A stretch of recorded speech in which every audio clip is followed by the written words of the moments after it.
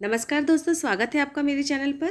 भिंडी एक ऐसी सब्ज़ी है जो बच्चों से लेकर बुज़ुर्गों तक सभी को पसंद होती है। तो आज मैं आपके साथ में प्याजी भिंडी की बहुत ही टेस्टी पाँच मिनट में बनने वाली रेसिपी शेयर करूँगी। तो जुड़े रहिएगा, चलिए बनाते हैं। तो भिंडी की सब्ज़ी बनाने के लिए हमें चाहिए भिंडी। तो यहाँ पर मैंने ये 300 ग्राम भिंडी ली थी। इनको पहले अच्छे तरीके से धो लिया था। धो के इसको सुखा लेंगे। या तो अगर आपके पास में टाइम है तो उसको थाली में फैला के सुखा सकते हैं पंखे की हवा में या फिर वक्त कम है तो इसको अच्छे मोटे से टॉवल में डालिए धोने के बाद में और उसके बाद इसको अच्छे तरीके से पोछ लीजिए और पोछने के बाद काटिए। तो ये प्रोसेस करना इसलिए ज़रूरी होता है क्योंकि अगर हम गीली गीली भिंडी को काट के बना लेते हैं तो बहुत ही लसलसी बनती है, इसलिए अच्छे से सुखाकर ही इसको काटना है। साथ में दो मीडियम साइज़ के प्याज लिए थे, उसको इस तरीके से मैंने लच्छों में कट कर लिया है। ये देखिए पतले पतले लच्छों में कट कर लेंगे। आधा इंच अदरक बारीक कट कर लिया है। तीन से चार लहसुन की कली बारीक कट कर ली है और दो हरी मिर्च कर ली है कट। तो हरी मिर्च की क्वांटिटी आप अपने टेस्ट के अकॉर्डिंग कम ज़्यादा कर सकते हैं। तो सब्ज़ी तो पूरी कट करके तैयार कर ली है मैंने। अब चलिए फटाफट से सब्ज़ी बनाने की प्रोसेस में चलते हैं। सब्ज़ी बनाने के लिए कढ़ाई मैंने चढ़ा दी है। गैस को ऑन कर दिया है। अब इसमें डालेंगे हम सरसों का तेल। तो लगभग ढाई से तीन टेबल स्पून मैंने सरसों का तेल डाल दिया है। इसको सरसों के तेल में ही बनाइएगा तो बहुत अच्छा टेस्ट आता है। पर अगर सरसों तेल नहीं खाते हैं तो आप कोई भी जो तेल खाते हैं, उसको इस्तेमाल कर सकते हैं। तेल को हम गर्म होने देंगे। गर्म हो चुका है, इसमें डालेंगे आधा चम्मच मस्टर्ड सीड्स आधा चम्मच जीरा, दोनों चीज़ों को अच्छे तरीके से तड़कने देंगे।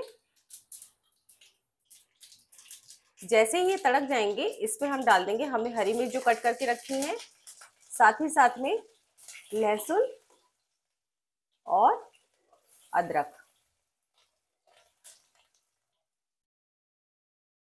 थोड़ा सा हम इनको भूनने देंगे। बिल्कुल धीमी आँच रखेंगे, आँच को ज़्यादा तेज नहीं करना है। और इतना ही भूनना है कि इसका हल्का सा कच्चापन चले जाए, पर लहसुन का बहुत ज़्यादा कलर चेंज नहीं होना चाहिए। तो लहसुन हमारा भून चुका है। अब साथ ही साथ में मैं इसमें जो प्याज कट करके रखे हैं, उन्हें भी डाल देने वाली हूँ। प्याज आप चाहें तो छोटे छोटे बारीक वाले भी कट कर सकते हैं, पर जो भिंडी का साइज़ मैंने किया है, शेप दिया है, उसी साइज़ में मैंने प्याज को भी कट किया है। और बस इसको हमको मीडियम फ्लेम पर थोड़ी देर तक कुक करना है। बहुत ज़्यादा इसको कलर नहीं चेंज करना है प्याज का। मीडियम फ्लेम पर हम इसको थोड़ी देर तक कुक करेंगे। प्याज ये देखिए काफ़ी अच्छे से भून चुका है। इसको मीडियम फ्लेम पर मैंने तीन से चार मिनट तक भून लिया है। बहुत ज़्यादा कलर नहीं चेंज करना है। और अब इसी स्टेज में हम ये जो भिंडी हमने कट करके रखी है, वो सारी की सारी डाल देंगे। अच्छे तरीके से मिक्स करेंगे। और अब इसको मीडियम फ्लेम पर हम फ्राई करते चले जाएँगे। बीच बीच में चलाते जाएँगे। बहुत बार नहीं चलाइएगा, वरना भिंडी टूट सकती है।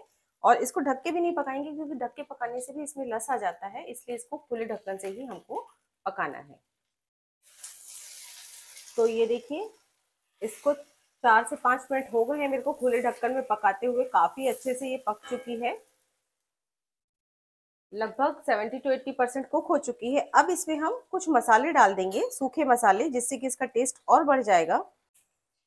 आधा चम्मच हल्दी पाउडर, आधा चम्मच रेड चिली पाउडर, लाल मिर्च पाउडर आप अपने टेस्ट के अकॉर्डिंग कम ज़्यादा कर लीजिएगा।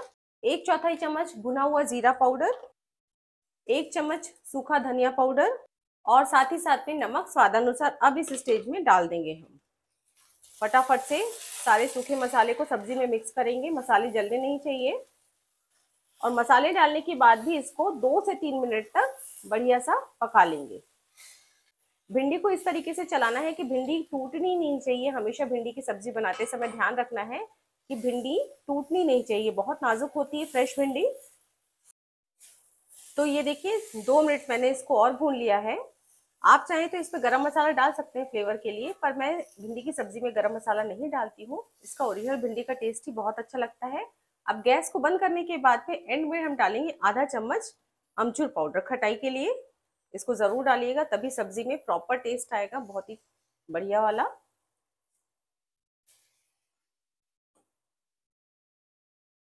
मिक्स करेंगे और ये हमारी भिंडी की सब्ज़ी बनकर तैयार हो चुकी है। देखिए कितनी बढ़िया बनी है।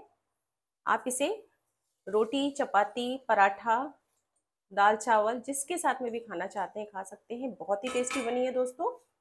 और चलिए फिर इसको गर्मा गर्म सर्व करते हैं। तो आज की ये बहुत ही टेस्टी भिंडी की सब्ज़ी की रेसिपी आपको कैसी लगी? अगर अच्छी लगी हो तो लाइक ज़रूर कीजिएगा। साथ में अगर आपको मेरी रेसिपीज़ पसंद आ रही हैं तो चैनल को सब्सक्राइब भी ज़रूर से कर लीजिएगा। तो फिर मिलते हैं मेरी एक अगली और नई रेसिपी के साथ। तब तक के लिए बाय